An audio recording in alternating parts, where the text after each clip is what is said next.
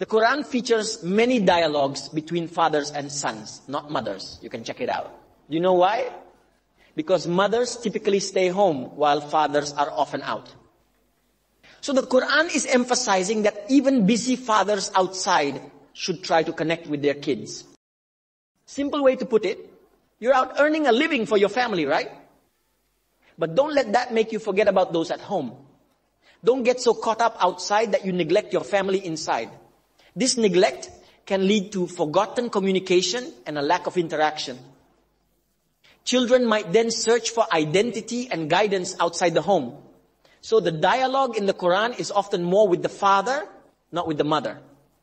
As if to give the impression that no matter how busy you are outside, don't let it hinder communication and attention to the child so that the child might then search for identity and guidance elsewhere.